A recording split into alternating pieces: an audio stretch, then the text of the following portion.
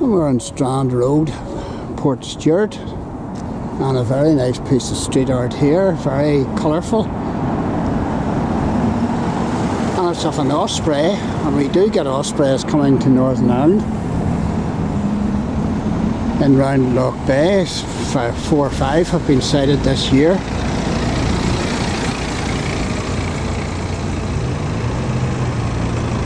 Don't think they'll ever nest here.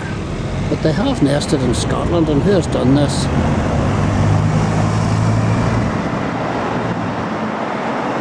Is it Dan?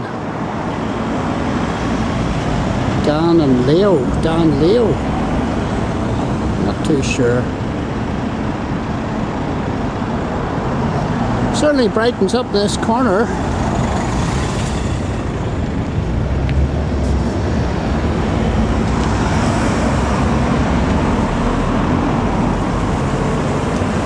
That's a boutique hotel across the street.